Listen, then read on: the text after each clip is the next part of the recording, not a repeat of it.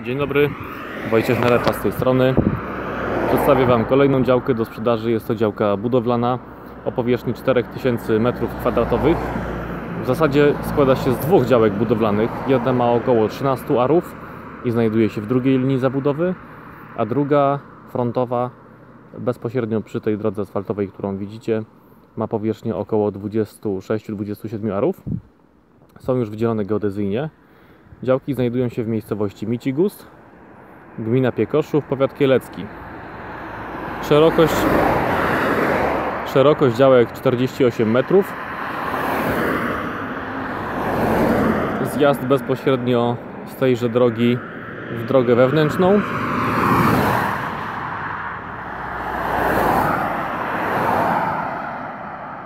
Zjazd bezpośrednio z drogi wojewódzkiej. Są wydane warunki zabudowy na domy jednorodzinne, aczkolwiek z racji umiejscowienia działka jest idealna na prowadzenie działalności gospodarczej, na przykład takiej jak komis samochodowy. Jeździ tędy bardzo dużo samochodów, relacji Kielce-Łopuszno, Kielce-Włoszczowa. E, Dojeżdża również e, bus. W oddali widzimy przystanki. Tutaj jest przystanek i tu jest drugi przystanek. Serdecznie zapraszam do zapoznania się z ofertą. Szczegóły w opisie pod filmem, jak również tam znajdziecie link do e, oferty na mojej stronie internetowej. Media, które są przy działce to prąd, wodociąg, kanalizacja.